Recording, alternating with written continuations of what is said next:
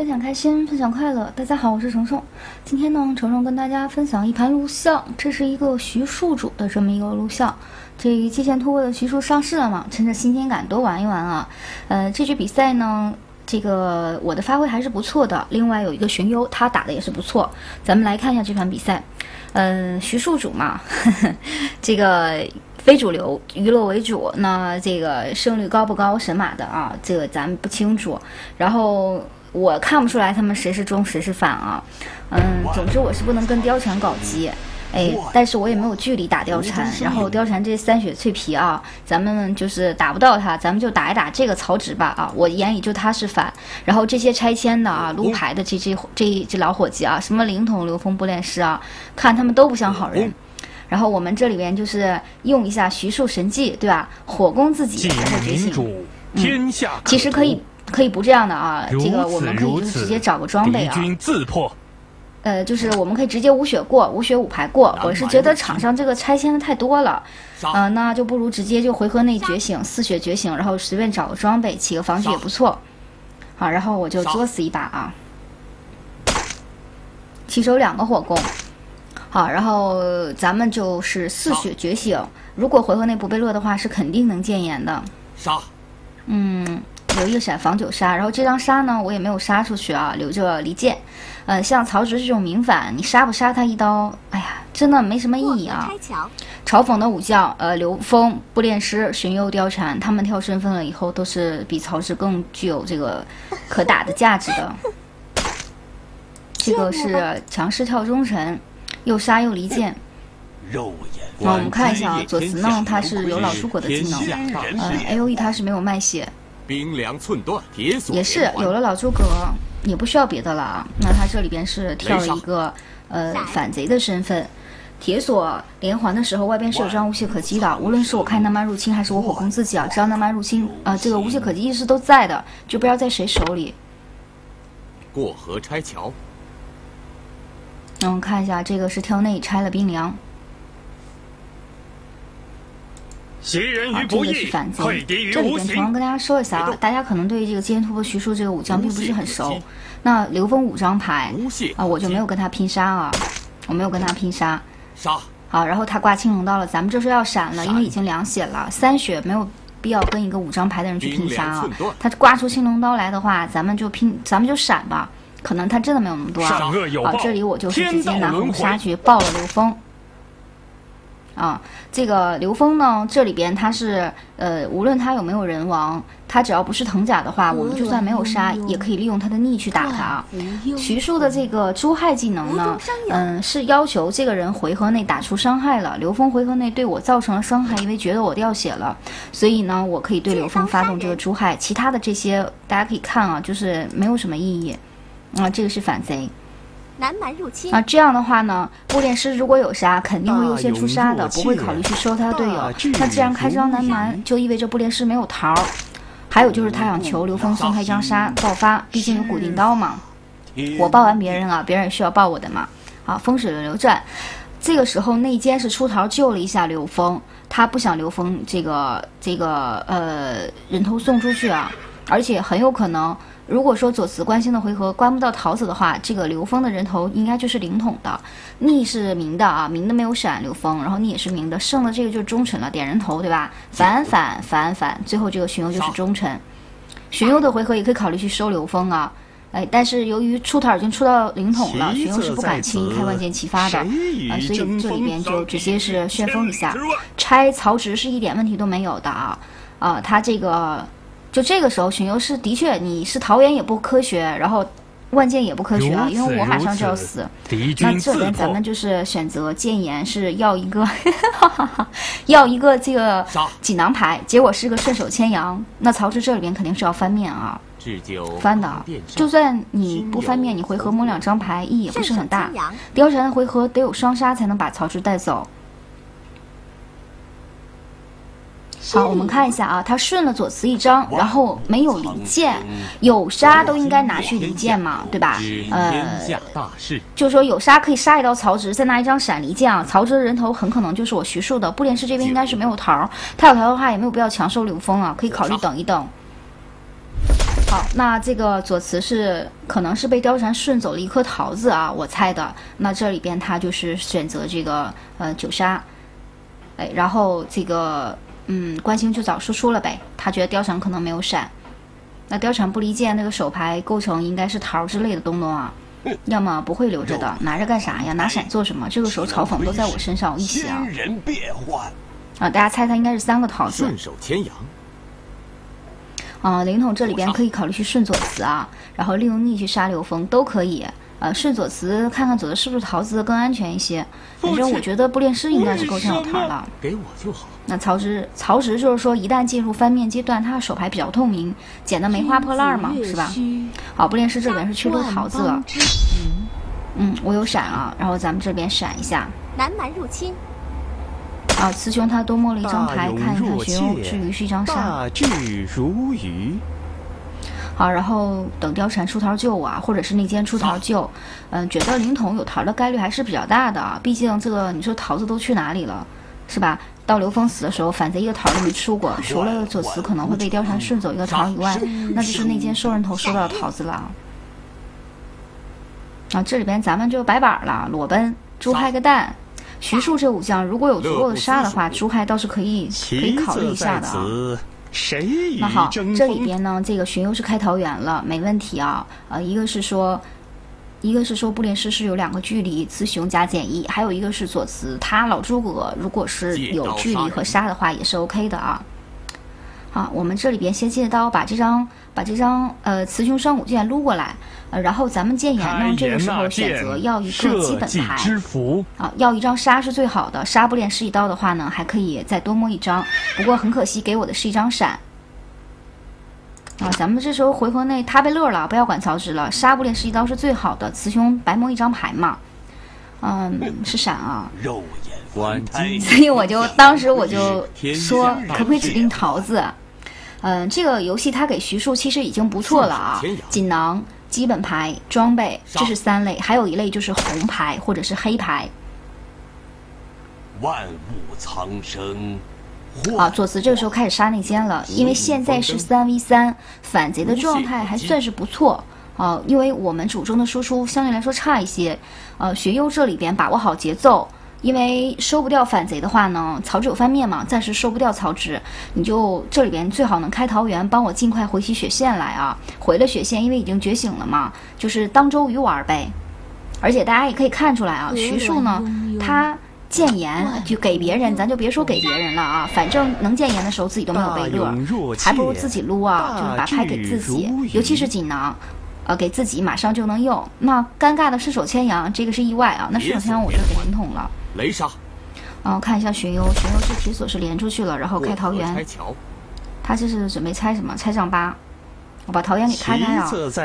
因为不开桃园的话，嗯，曹氏翻面。其实他不开桃园呢，开万箭的话，这局就送内了，就进主内反了，很有可能就进主内反了啊。如此如此。我们这里边我是要一个锦囊牌，我要一张锦囊啊。比如说拿出一个铁锁之类的是最好的啊，毕竟有九杀。好，那这个乐不思蜀，咱们乐上曹植过了一张，嗯，雌雄过了一张黑杀。玄幽刚刚那个步练师两血，曹植一血，荀攸可以考虑去开万剑。开万剑呢，因为我这边的闪是明的，是我上回合建言的。嗯，这么打的话呢，很有可能就是进主内反啊。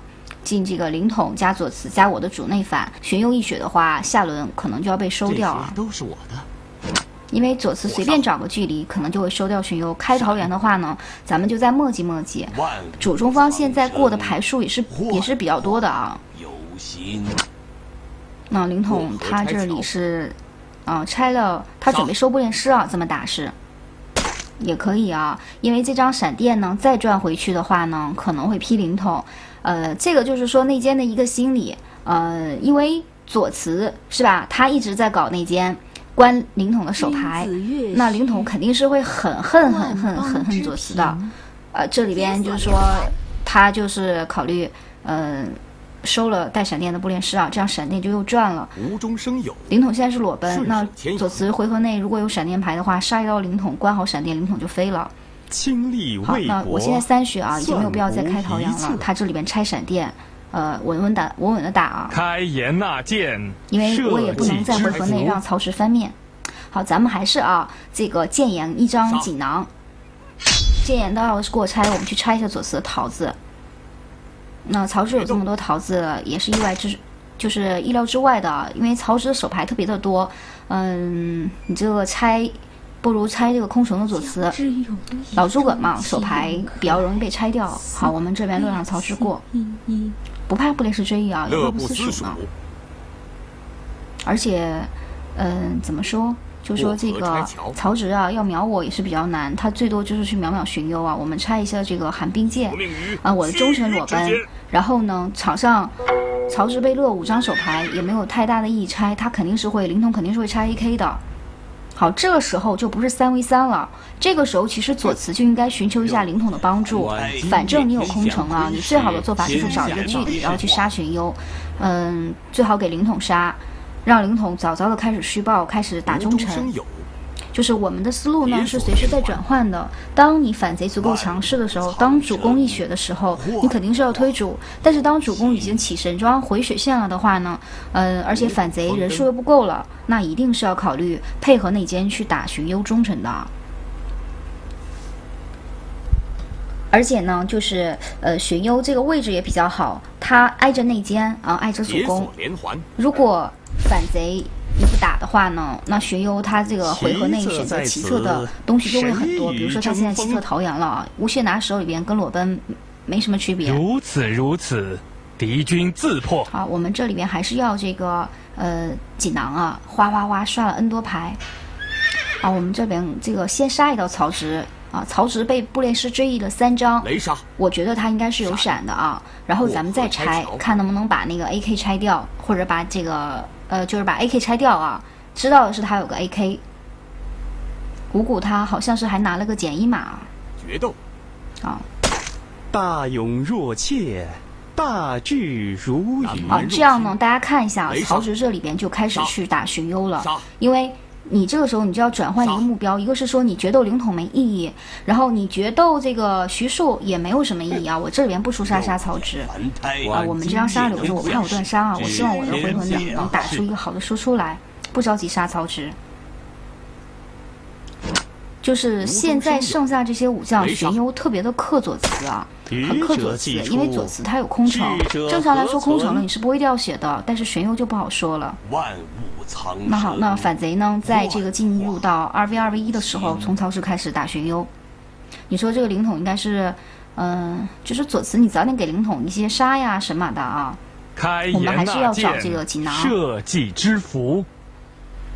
好，这里边我说一下啊，这个射手先阳呢，我应该去顺青龙刀保护一下荀攸，因为荀攸没有奇策，所以我觉得他手里边应该是一些能保命的牌，有闪什么的，我就没有去顺青龙刀，顺青龙刀更稳一些。程程这里边已经摸到怪石斧了，有没有八卦意义并不是很大，而且曹植是没有距离的，所以我要不要这个八卦，暂时来说没有太大的意义，我可以考虑去顺青龙刀保护一下荀攸，然后在下回合找机会啊，争取怪师府九杀左慈，最好能在荀攸。A 掉左慈一血之后，我斧头九杀带左慈飞，这个是最好的节奏。那咱们应该去顺这个青龙刀，但是呃，就奇怪的是啊，左慈他这里边是没有去找输出，而是给自己找了一个八卦。好，灵童内奸现在开始杀荀攸了。好，这个铁锁啊连的不错，好，铁锁连的挺好的。那咱们继续找锦囊啊，我想找顺手过拆去搞这个左慈的桃子啊。我觉得左慈很可能有桃子的。好，咱们借刀把这个青龙刀给顺了，就是先撸过来啊，然后让曹植翻着，顺便压压左慈的血，因为你把左慈压到一血的话，荀攸的回合他就可以考虑开 A O E 去收人了，考嗯开南蛮入侵去收人都是 O K 的啊。那曹植方面，咱这里边乐左慈，我为什么不乐内奸呢？乐了内奸，内奸也可以旋风，荀攸三血暂时比较安全。然后你一把左，你如果不乐。你如果不乐左慈的话，可能左慈回合内会找桃啦之类的啊。那如果你乐上左慈，左慈要关自己的这个乐不思蜀，还要嗯找桃子，相对来说比较难一些。然后你乐灵统的话呢，左慈可能考虑不用管灵统的乐，没好牌我就拉下去啊，我找桃或等等的。这样小内跟着一起掉两血之后呢，就过来拆我的，把我的乱七八糟装备都撸了啊。他不给我加一啊，四血可以不给加一的，可以不给。拆桥。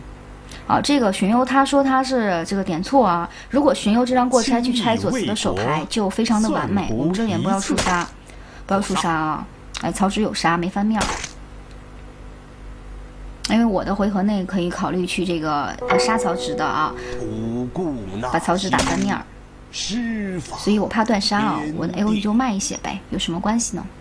好，结果没断杀，咱们继续啊。开颜纳谏，社稷之福。啊，找锦囊，找铁锁啊。不过铁锁都被用光了，就是我也没有记牌。如果你玩徐庶，你能活到这么远，你记记牌也也好啊。呃，当然对我来说，这个出一张锦囊啊、决斗啊什么的都是不错啊。就是找锦囊，你才有机会找到双杀嘛。别的意义也不大。你说这时候找个装备，那边空城你也打不了他。我们有杀可以杀曹植。结果找到是闪电挂上是吧？挂上，反正劈也是劈灵筒啊，我是不会打灵筒的。反贼不死，我是不会搞灵筒的啊。打内奸，哎呀，虫虫比较宠内了。好，荀攸被冰了，要不然 A 继续 A，可能左慈就死了。这些都是我的。啊，他这里面肯定过来拆我的啊。别着急扔啊，两张啊，他这边去拆八卦了。这些都是我的。两张都拆我也没有太大的问题。主要灵统，呃，被闪电吓到了啊！希望左慈死还是怎么的？好，那咱们这里边谏言，这次拿到的就是这张铁锁。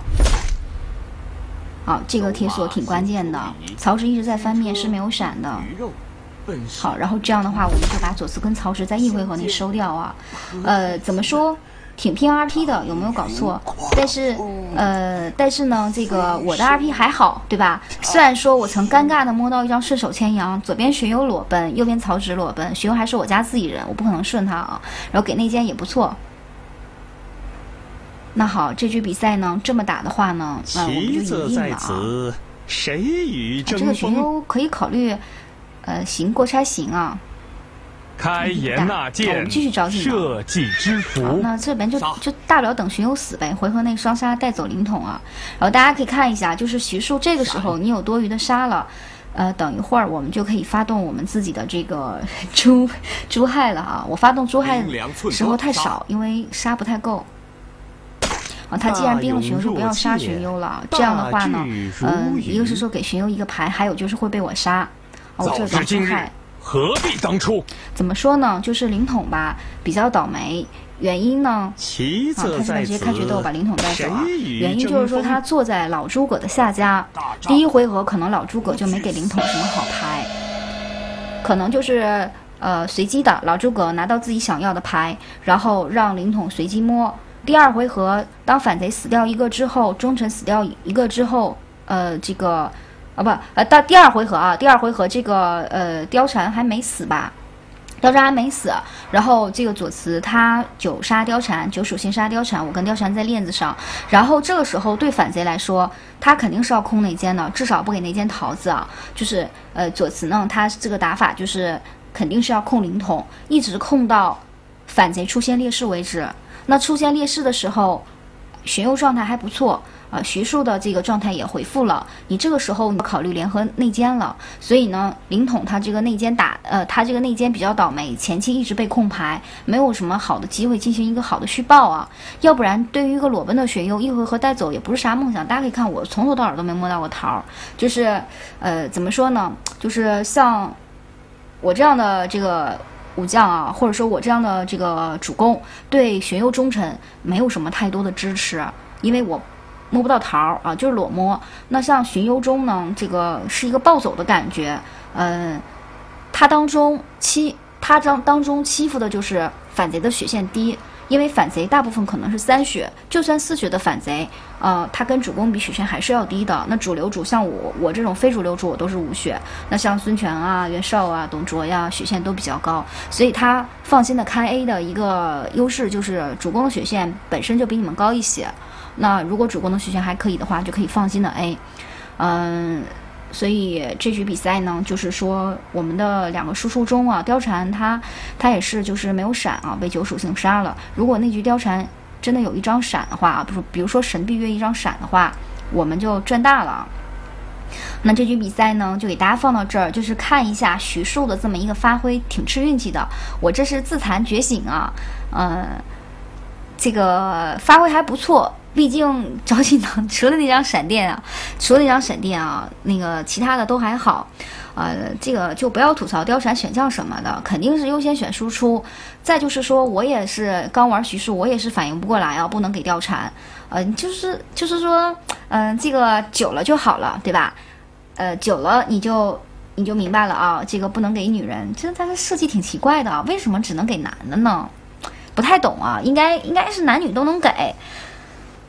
而且大家可以看啊，就是徐庶的主视角呢，因为如果你找锦囊的话，你是最赚的，毕竟闪电只有两个，对吧？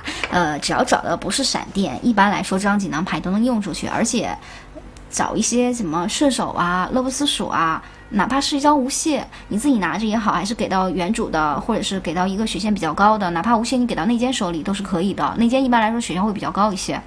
嗯，都是可以打的啊。这个锦囊的这个性价比更高。你找红牌、黑牌、基本牌，呃，基本牌我不也找过吗？那个时候是断杀，呃，不仅断杀也没闪，找个基本牌赌一发，来张是杀的话，可以雌雄白摸一张，这是比较赚的啊。嗯，给大家看一看徐庶的这么一个主视角，还有就是他的这么一个发挥啊。这局就是运气比较好，好貂蝉桃子多，然后荀攸打的也不错。因为没有玄幽的话啊，没有玄幽的话，压掉的血是回不来的。嗯，在初期四个反贼，四个反贼的时候呢，我会被压残。但后期的话呢，嗯，刘封死早了，大家都没有距离啊。你像曹植就是在那感叹，到死也没对徐庶出一张杀，第一回合出一张杀，然后就就没有了，就没有然后了。他没有距离。嗯，好啦，这局比赛就到这里。呃，这个武将买不买呢？我现在也不好说啊，因为我觉得呢，就是武将。现在还是在体验阶段，嗯，如果说将来我推荐大家买或不推荐大家买的话，主要是考虑它的出场。如果一个武将呢，它的胜率跟出场能得到一定保证的话，大家可以买，嗯，可以去玩儿。如果说它的这个出场比较受限，诶，比如说当反贼的时候你可以选，当忠臣的时候你就不能选了。比如说像伏皇后这样的。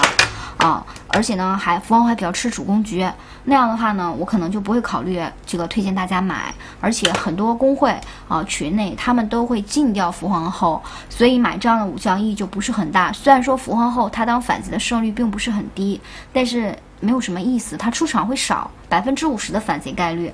好，那如果说像成功这种武将。他既可以当反，又可以当中，而且成功是绝对不吃主攻局的。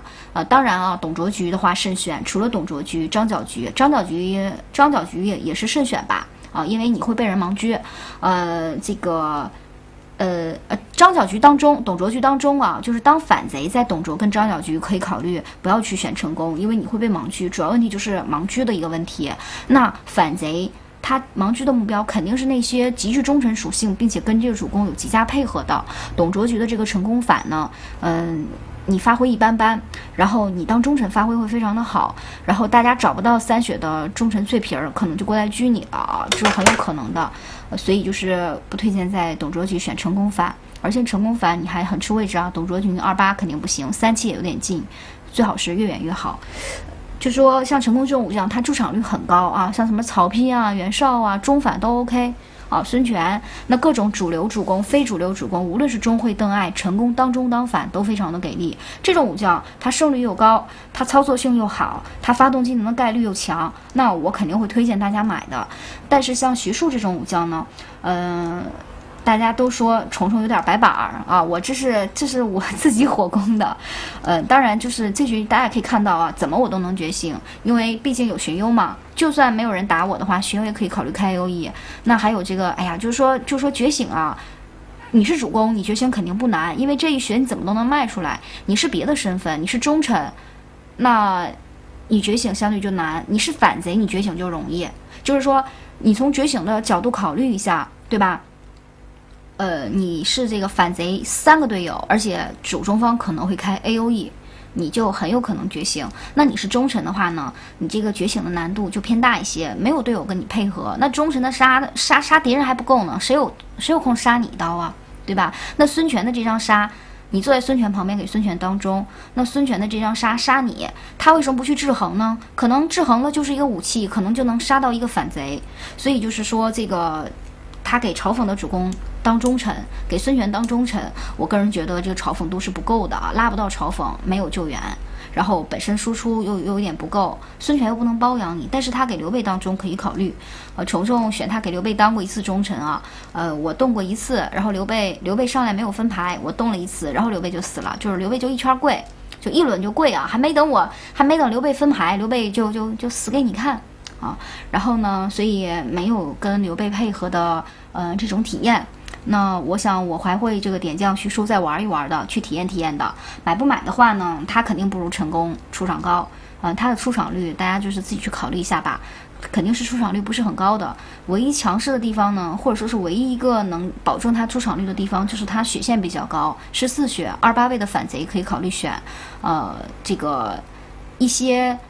有特殊，就是一些有特殊属性的主公可以选，比如说像刘备，刘备包养他的话，你这个朱颜，呃，这个朱亥还是能发动的概率比较高一些啊。就是那句话，给我一把杀吧。而且大家可以看到他的，如果说他能进单挑的话，他单挑，嗯，跟周瑜比有英姿多三张，但是没有反剑，啊，单挑的话还是可以有的，单挑能力是可以有的。当内奸的话，这个就是慢慢玩，再考虑考虑啊。这个武将节奏偏慢是他的一个弱点吧。好，呃，这个主攻嘛，这个娱乐娱乐，呃，我觉得荀攸啊打得不错。嗯，好啦，就这样，咱们下期见。大家呢，这个优酷呢是有一个给给播客的一个奖励啊。我以前也出，我以前视频当中也跟大家说过，就是如果大家呢，嗯，这个优酷是会员，或者说你有你有这个网银、支付宝的话，可以考虑给虫虫送花，呃，就是刷人民币的礼物，就当给虫虫，呃，支持虫虫给虫虫送的奖励了。如果你支持我的视频的话呢，嗯。我觉得，我觉得可以考虑给我送送花。嗯，好啦，就这样多说一句，谢谢大家。那喜欢我直播的朋友呢，记得来看我的直播。直播的时间呢，改到晚上七点半，每周三、每周六晚上七点半直播。其他的时间呢，大家看我微博的通知。呃，有可能我也会变直播的时间，比如说像武将徐庶新书的时候呢，礼拜一我也是开直播了的。好啦，嗯，就这样，咱们下期再见，拜拜。